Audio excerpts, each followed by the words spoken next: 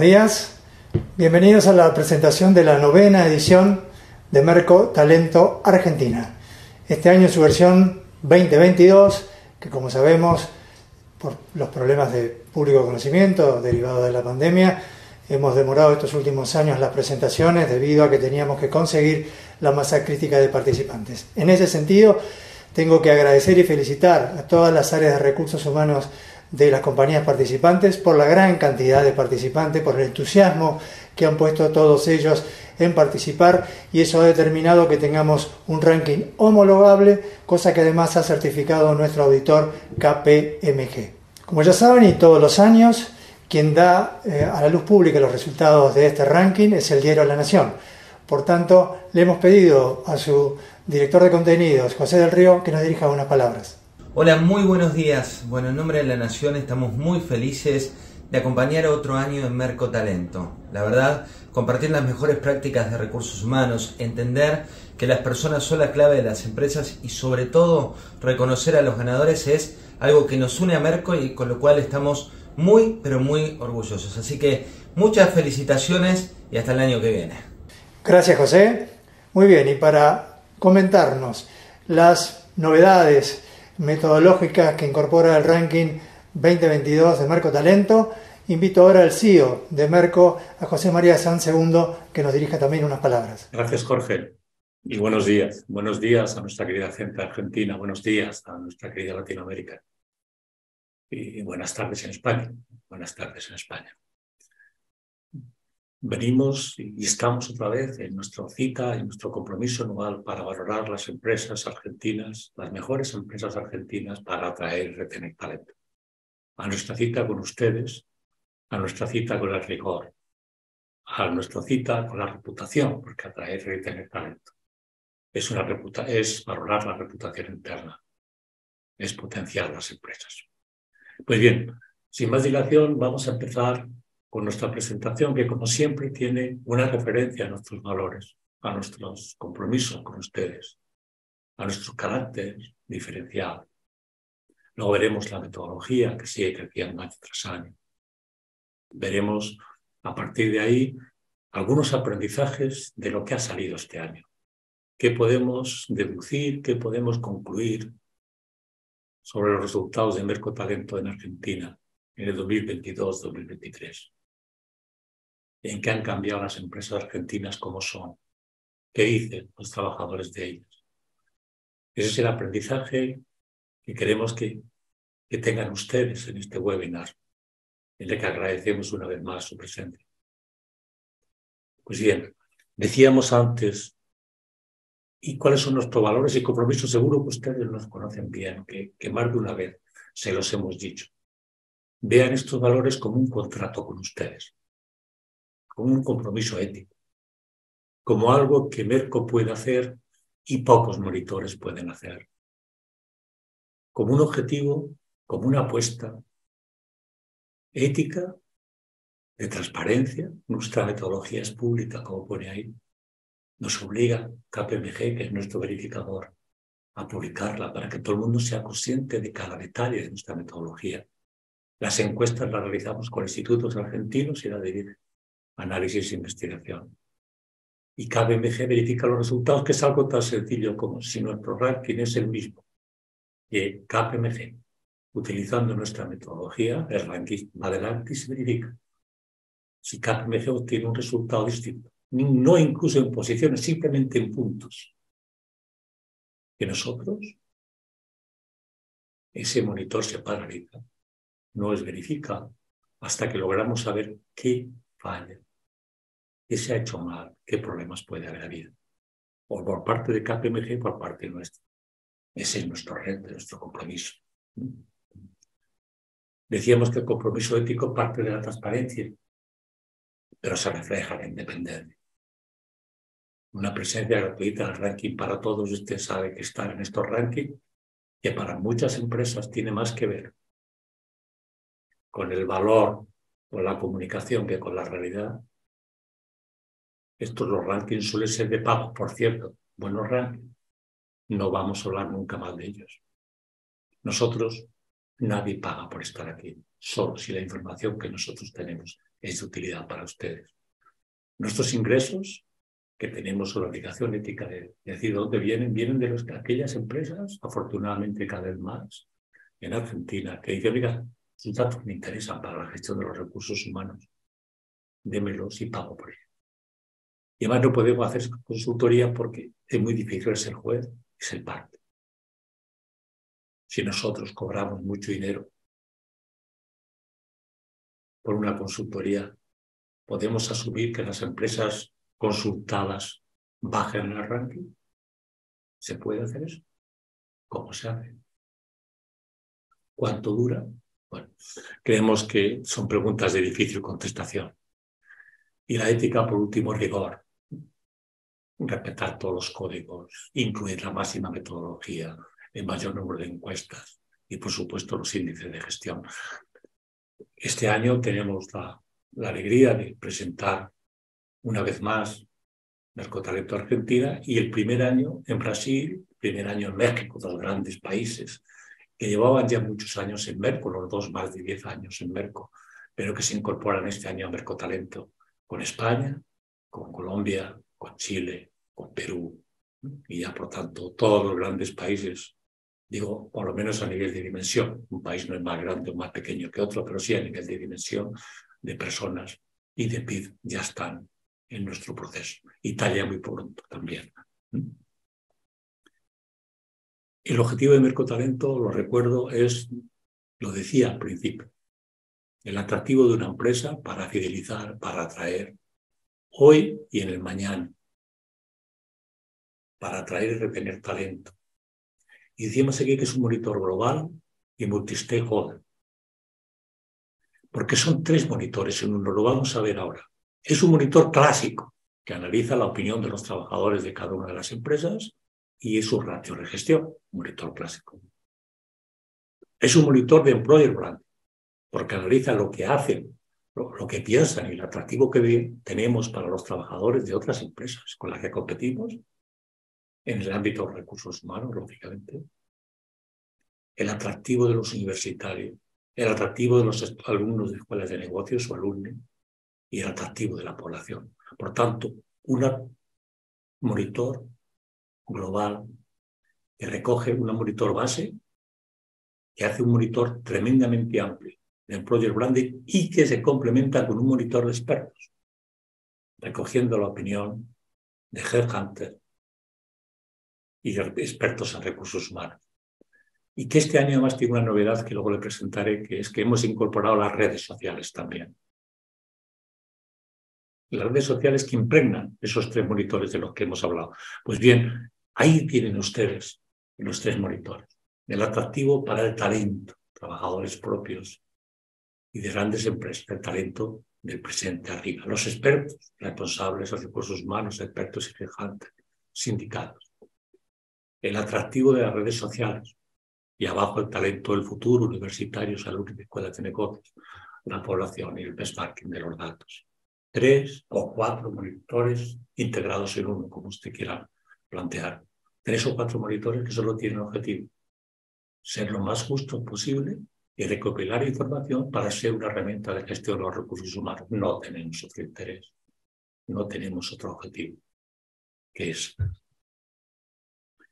¿Qué metodología tenemos? Pues ya la conocen, la hemos visto antes, pero a efectos de muestra de ficha técnica tenemos 7.000 trabajadores de las grandes empresas argentinas, 605 universitarios, 600 alumnos de escuela de negocio, 2.400 de población, 103 de responsables de recursos humanos, headhunter, sindicatos, talento digital, que este año no le damos peso para que no altere el equilibrio del ranking y 49 empresas que nos han dado todos sus datos de gestión. Y ojo, porque el año que viene también incluiremos dentro de ese concepto de Project Branding la opinión de los catedráticos de universidad sobre el atractivo de las empresas y, por tanto, la percepción que ellos trasladan a sus alumnos a la hora de definir el atractivo, el ideal de las empresas donde trabajar.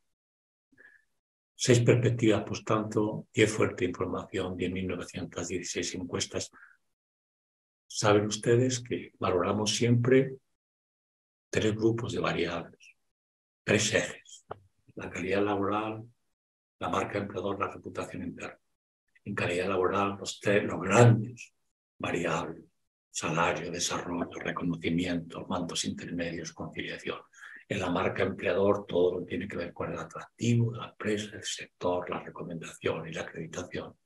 Y en la reputación interna esas variables tan definitorias como los valores éticos y profesionales, liderazgo de alta dirección, la identificación con el proyecto empresarial, la recomendación, el julio de pertenencia. Por tanto, grandes variables. Merco Talento Digital este año. Decimos aquí, quizás un poco prepotentemente, perdón, eh, es un monitor, Merco es un monitor integral que referencia metodología del mundo, lo es.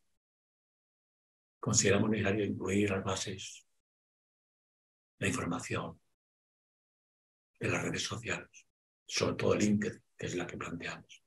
Decimos también que este año no pesa la evaluación, pero que al año que viene sí, por tanto, estará en los informes, pero no en los rankings.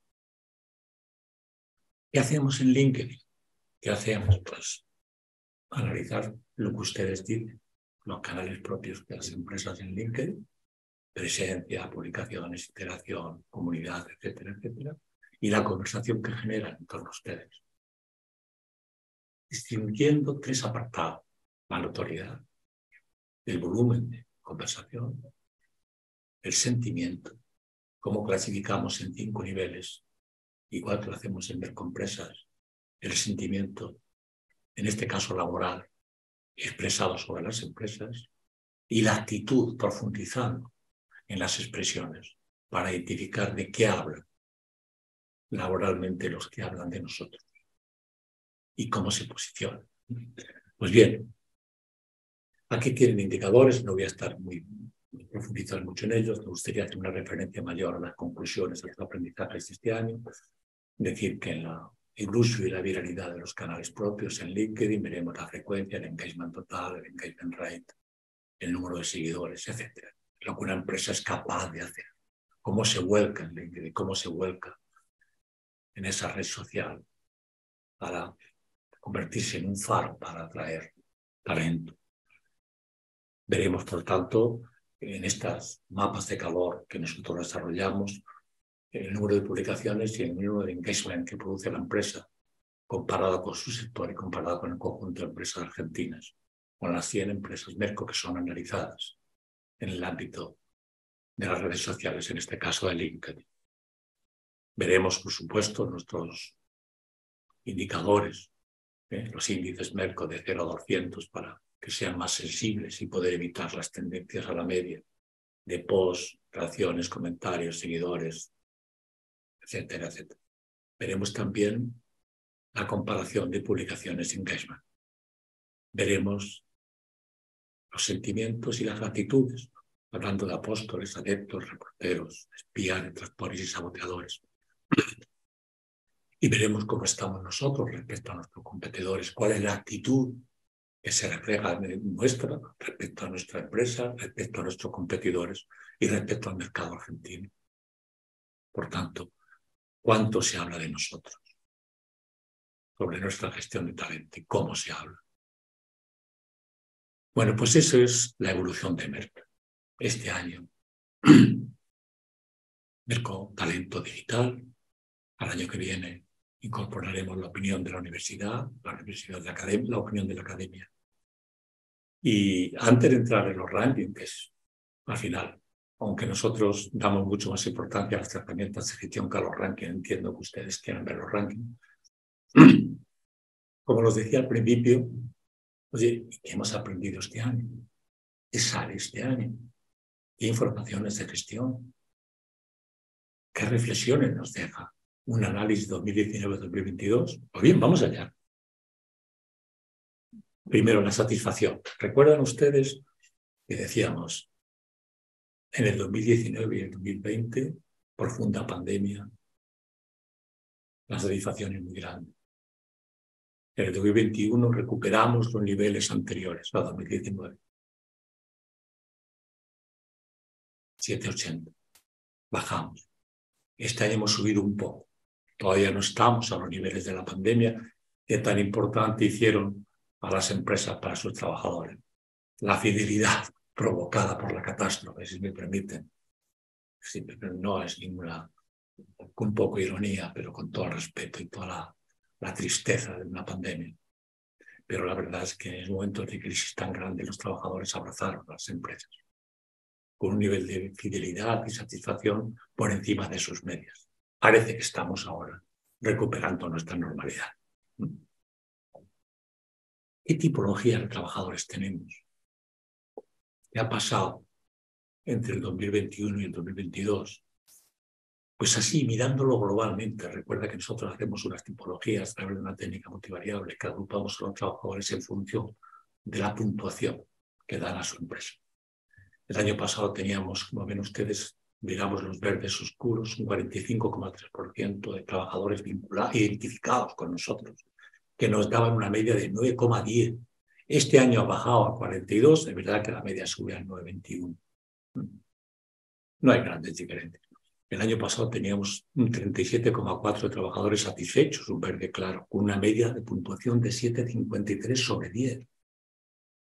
Este año tenemos un 37,4 es los mismos, con una media mayor, 7,80 sobre 10. Los desvinculados han crecido del 13,6 hemos pasado al 16,2. Es verdad que con más media, del 5,63 al 6, y hemos subido un poco en deserción.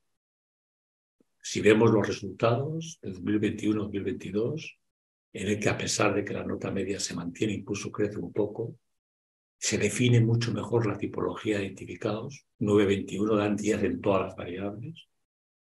Se mantiene la tipología de satisfechos creciendo mucho en la nota. Sube un poco la tipología de desvinculados. 2,6 puntos pero también mejora mucho la puntuación y se mantiene, aunque crece un poco, la tipología en deserción, con el 4,1 y da una media de 3,25. Bien, hemos preguntado también, siempre con la pregunta de siempre cuáles son las variables duras, las variables blandas, hacia dónde vamos, la importancia de la marca empleador. ¿Qué tipologías de empresas salen en Argentina? Pues hemos puesto como medias.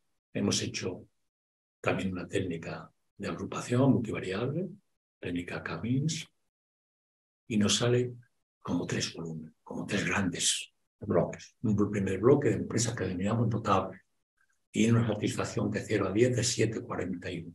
Un segundo bloque de empresas que llamamos sobresalientes, con una puntuación de 0 a 10 del 8,01.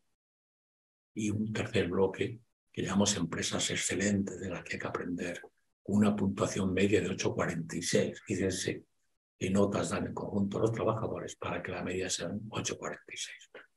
Y nos hemos preguntado también, oye, ¿hay algo que caracteriza a estas empresas? ¿Podemos aprender de ello? ¿Qué variables se asocian más? Evidentemente, las variables siempre tendrán mejor nota cuanto mejor en, el grupo de excelente que en el excelente que notable. Pero bueno, ¿cuáles son aquellas variables que destacan por tener mejor nota que en el globalmente en, en las empresas. Por ejemplo, notables. Destaca sobre la puntuación normal de mirada por valores, de valor mirada por valores y resultados. Destaca ya sobre la puntuación normal. Son variables que en esta tipología tienen más peso que en otras. El salario y la relación con los mandos intermedios podríamos decir, oye, estoy trabajando en un sitio importante con un buen salario y con jefes que me manejo bien. Jefes que me entiendo bien con ellos. Bien. ¿Y las sobresalientes? ¿Por qué se caracterizan? Pues bien, aquí aparece un cambio. Las variables que predominan, las variables que significan, que resaltan en estas empresas sobresalientes son valores éticos y profesionales, conciliación, balance, igualdad y diversidad. Si en las primeras empresas parecía que las variables que adquirían más peso eran variables que tenían que ver con el tipo de empresa en el que voy y lo que me pagan y cómo estoy, aquí estamos en los valores.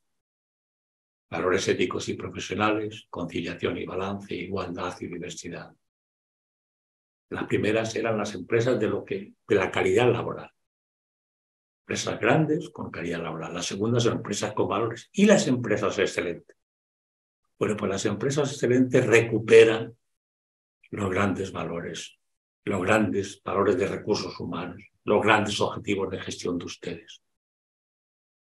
Eso que hace que los trabajadores sean diferentes. El desarrollo profesional, el orgullo de pertenencia, la motivación y el reconocimiento. Las tres, tres de las grandes. ¿eh? Los primeros están en un buen sitio y se sienten bien. Los segundos se empiezan a sentir que se identifica con los valores. La tercera están creciendo en la empresa. Crezco, siento orgullo de pertenecer porque en ella me motivan y me reconocen. No quiere decir que en todas las empresas sea así, pero con el análisis de tipologías o clúster que nosotros hemos hecho, esto es lo que sale. ¿Podemos aprender cosas? Yo creo que sí. Las empresas notables, las empresas sobresalientes o de valores y las empresas son excelentes y desarrollo profesional. Desarrollo profesional, reconocimiento y orgullo de pertenecer. Tres cosas que van muy unidas. Me reconocen, me permiten mi desarrollo y generan mi orgullo. Los valores de las sobresalientes y la practicidad de las notables. Pues bien, creemos que, ese, podríamos, no, seguramente no es la presentación de aquí, eh, el lugar ni el momento adecuado para hacer una reflexión más en profundidad. Pero es un reto que, Jorge podemos tener en cualquier momento, que podemos hacer un webinar de profundización cuando ustedes lo deseen, eh, porque creo que hay muchos aprendizajes detrás de esta clasificación. Sigamos entonces. NPS, ustedes conocen bien esto. Promotores, menos detractores. ¿Dónde estamos? Pues en un 32,9. Es una buena nota, 48,4% de promotores, 36,1% de pasivos y un 15,5% de detractores. Razonable, razonable. Está bien en el planteamiento. Hemos introducido este año una pregunta que hace mucho tiempo que está encima de la mesa de ustedes, que era la felicidad. Nos hemos estudiado mucho tiempo también nosotros qué significaba la felicidad. Hay un catedrático en, España, se llama profesor Marina, que ustedes catedrático de psicología, seguramente habrán leído algunos de sus libros, y que habla mucho de la felicidad en la empresa. Pero pues bien, después de leernos, releernos y preguntar a los trabajadores, hemos definido la felicidad fundamentalmente en estos cinco apartados. ¿Te sientes bien con el tipo de trabajo que realizas? La felicidad con lo que haces. ¿Tienes un buen ambiente de trabajo? La felicidad, ¿dónde lo haces? ¿Consideras que tu trabajo se reconoce? La sensación de que tu trabajo merece la pena. Estás creciendo profesionalmente, te estás desarrollando y, por tanto, y globalmente, cómo te sientes de feliz. Creemos que esas son las cinco preguntas. No hay más, seguramente tampoco menos.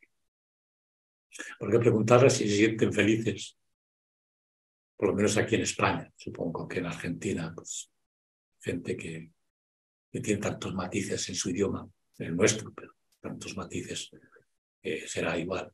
Eh, si te sientes feliz, dirás, bueno, depende de qué, en qué, cómo. Bueno, pues tampoco puedo preguntarle 10 ámbitos de felicidad. Con estos cuatro ámbitos y el global nos damos suficientemente identificados. Lo que sale es que sí están felices con el tipo de trabajo la vida, sí están felices con el ambiente de trabajo, incluso más, menos que tu trabajo se reconozca y menos que percepción de que estamos creciendo profesionalmente, globalmente un 7,99. Fíjense que decíamos, las empresas sobresalientes y las empresas excelentes son, las, sobre todo las excelentes, desarrollo profesional, motivación reconocimiento, orgullo de pertenecer. Ojo, la media nos da que es ahí, en la remotivación y reconocimiento, y en el desarrollo profesional, que eso significa estar creciendo profesionalmente, donde tenemos los puntos más débiles. No están mal las notas, pero, pero no es una nota media para estar contentos. ¿De acuerdo? Sigamos. Fortalezas y debilidades de las empresas. Decimos además a las empresas que las valoren, tanto a los que eligen empresas como a sus propios trabajadores, que valoren las fortalezas y las debilidades. Y lo que hemos hecho es restar fortalezas y debilidades. Sabemos que es un mecanismo estadísticamente cuestionable, pero muy sencillo, muy operativo. ¿eh? Y, y, vemos aquellas cosas que tienen más fortalezas que debilidades y aquellas cosas que tienen más debilidades que fortalezas. Vamos a aprender de ellas. Estamos en 2019, por tanto, hace 3-4 años, y vemos que lo que tiene más fortalezas que debilidades es el sector atractivo, el orgullo de pertenencia, el salario. Ojo, el salario. El desarrollo profesional. Bueno, ya a partir de ahí las diferencias bajan. Los que tengo más debilidades que fortalezas son la conciliación, la relación con los mandos intermedios, la igualdad y la identificación con el proyecto empresarial, cogiendo aquellas que están por encima del 2, negativo o positivo. Por tanto, las empresas no tienen un gran problema del sector, en general tienen un sector atractivo, hay algunas que no, pero en general sí, sí funcionan bien con orgullo de pertenencia, y se traslada afuera. El salario está mucho mejor de lo que dicen los estudios de clima. Fíjese que aparece como fortaleza y no aparece como debilidad, o mucho menos como debilidad. El 11,7 de las fortalezas es el salario, el 8,4 de las debilidades es el salario. Y ya ven, en cambio, que la gran demanda de las empresas de voy abajo, los rojos, es conciliación, relación con los mandos intermedios, ojo, ese apartado, ojo, ese apartado. Igualdad entre hombres y mujeres. Preguntábamos esto en el 2022. No, no voy a, a, mantener esta diapositiva porque eh, nos volvería locos. Voy a ver a la comparación. Me quedo con la comparación 2019-2022.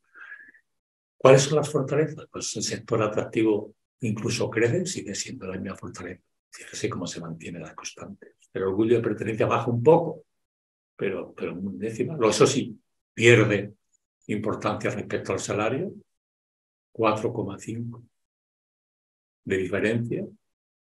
Si yo pido la valoración del salario de 0 a 10, saldrá la variable valorada. Si le digo fortalezas y debilidades, sale ahí. ¿El salario es una variable tan determinante? Sí.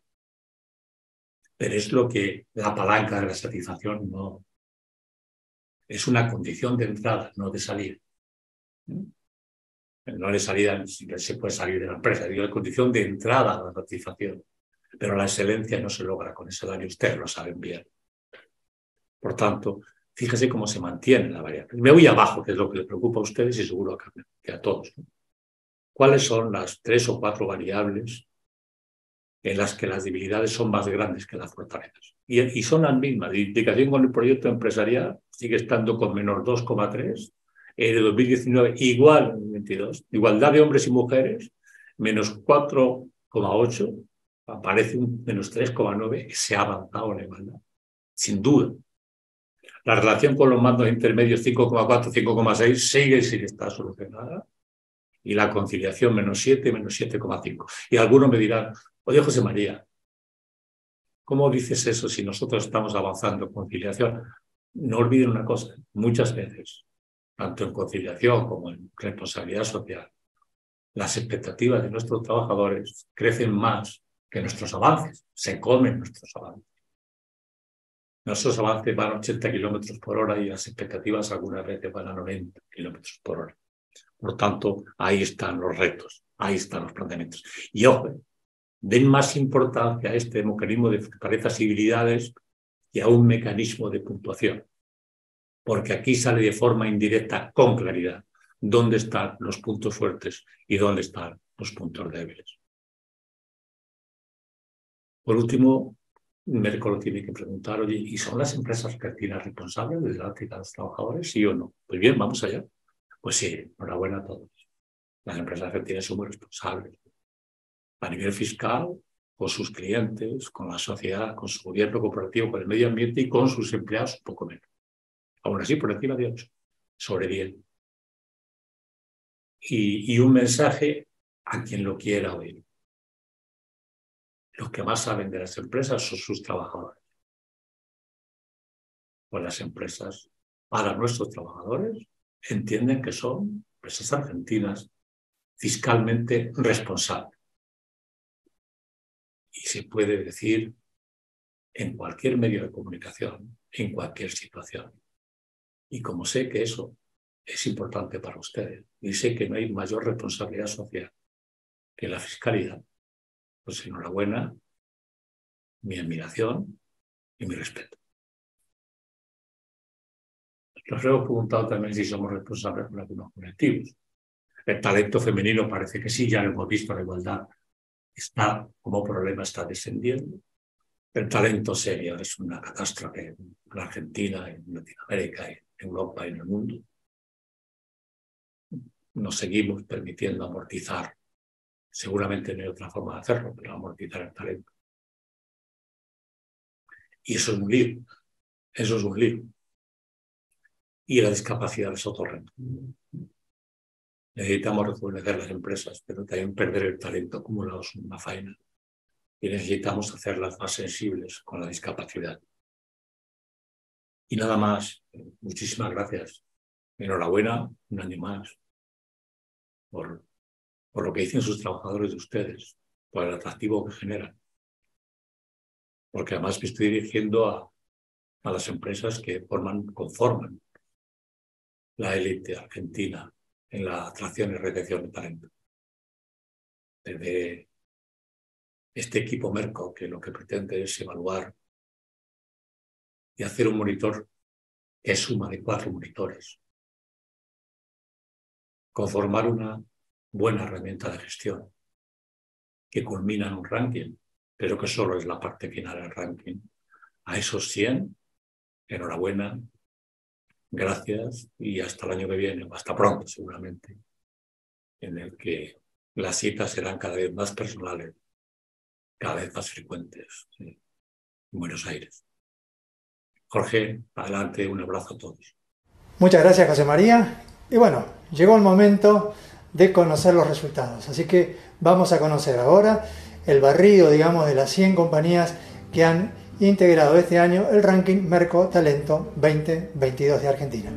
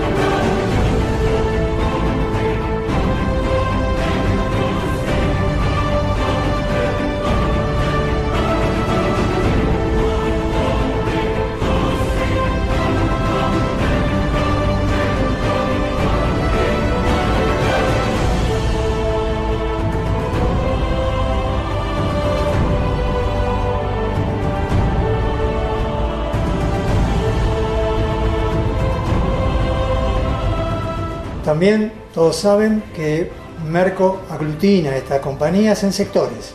Por tanto, lo que vamos a conocer ahora son los sectores que este año conforman Merco Talento y a los líderes de cada uno de ellos. Sector agropecuario. Siete compañías lideradas por el grupo Los Grobo. Sector alimentación. 13 compañías lideradas por la empresa Nestlé. Sector automotriz. 12 compañías lideradas por Toyota. Sector bancario, 16 compañías lideradas por BBVA. Sector bebidas, 6 compañías lideradas por Cervecería y Maltería Quilmes. Cadena de electrodomésticos, la empresa Frávega. Sector combustible, tres compañías lideradas por IPF. Sector consultoría, seis compañías lideradas por Accenture. Sector cosmética, perfumería y droguería, ocho compañías lideradas por Natura. Sector CRM, Salesforce. Sector delivery online, dos compañías lideradas por Pedidos Ya. Sector distribución especializada, Pharmacity. Sector distribución moda, cinco compañías lideradas por Adidas. Sector electrodomésticos y telefonía, dos compañías lideradas por Samsung. Sector energía, dos compañías lideradas por Pampa Energía. Sector entretenimiento, dos compañías lideradas por Disney. Sector farmacéutico, 17 compañías lideradas por Vago. Sector financiero capitales, Grupo Insud. Sector financiero, tarjetas de crédito, 7 compañías lideradas por Walla. Sector logística especializada, DHL. Sector maquinaria agrícola, John Deere. Sector medios de comunicación y editorial, cinco compañías lideradas por el diario La Nación. Sector petróleo y gas, seis compañías lideradas por PAE. Sector química, cuatro compañías lideradas por Singenta. Sector restaurants, cuatro compañías lideradas por Starbucks. Sector retail generalista, 13 compañías lideradas por Mercado Libre. Sector salud, 5 compañías lideradas por Grupo OSDE. Sector seguros, 8 compañías lideradas por Sancor Seguros. Sector Servicios Aeroportuarios, Aeropuertos Argentina 2000. Sector Servicios Públicos, dos compañías lideradas por Naturgy. Sector Servicios Turísticos, cuatro compañías lideradas por Despegar. Sector Siderúrgica y Metalúrgica, dos compañías lideradas por el Grupo Techin. Sector Tecnología, 20 compañías lideradas por Globant. Sector telecomunicaciones, 3 compañías lideradas por Telecom. Sector transporte de viajeros, 5 compañías lideradas por Aerolíneas Argentinas. Ya conocemos el ranking, ya conocemos los sectores, pero nos falta conocer el top 10 de Merco Talento Argentina 2022. Procedemos ahora a dar a luz esos resultados. En el décimo lugar del ranking, la empresa Natura. En el noveno lugar, el banco HSBC. Octavo lugar para la empresa Globant. Séptimo puesto para la empresa Nestlé. Sexto lugar, la automotriz Toyota.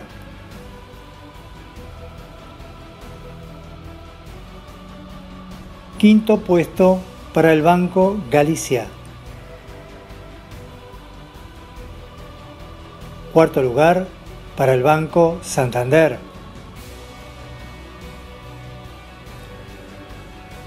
Tercer puesto, el Banco BBVA.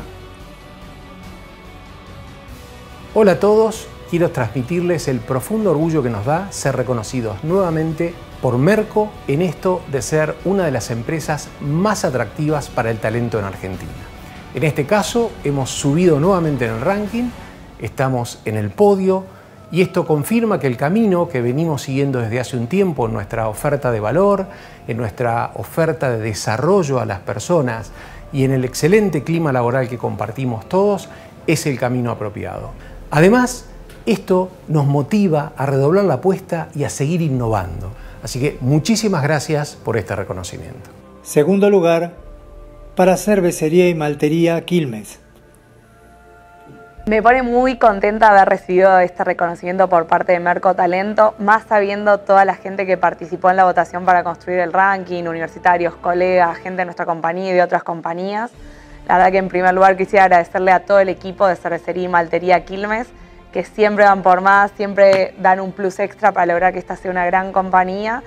Y la verdad que esto es un mimo que nos alienta a seguir trabajando en este camino de poner a la gente en el centro y construir ambientes de trabajo cada vez más equitativos y donde cada uno pueda aportar su mejor versión. Muchas gracias. Y liderando el ranking Merco Talento Argentina 2022, la empresa Mercado Libre.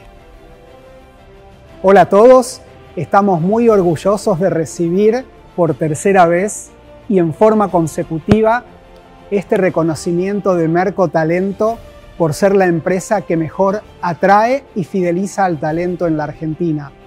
Y como nos gusta decir, en Mercado Libre ofrecemos mucho más que un trabajo, es poner en práctica día tras día nuestra capacidad de emprender, de dar el máximo para llevar adelante nuestro propósito, democratizar el comercio y los servicios financieros para transformar la vida de millones de personas en América Latina. Y buscamos que cada persona haga eso desplegando al máximo todo su potencial, brindando experiencias enriquecedoras en un entorno que nos impulse a ser cada día mejores profesionales. Quiero aprovechar y felicitar a nuestro equipo de 10.000 personas de Argentina que integran nuestro equipo de más de 40.000 personas de todo Meli y también extenderle mi reconocimiento a cada una de las empresas que integran este ranking, ya que entre todos brindamos empleo de mejor calidad en toda la región. Bueno, se desveló el misterio, ya conocemos a las 100 compañías, felicitaciones a todas ellas por haber colaborado en el proceso, por haber participado y obviamente por estar integrando el, ranking 100 de Merco Talento 2022 de Argentina.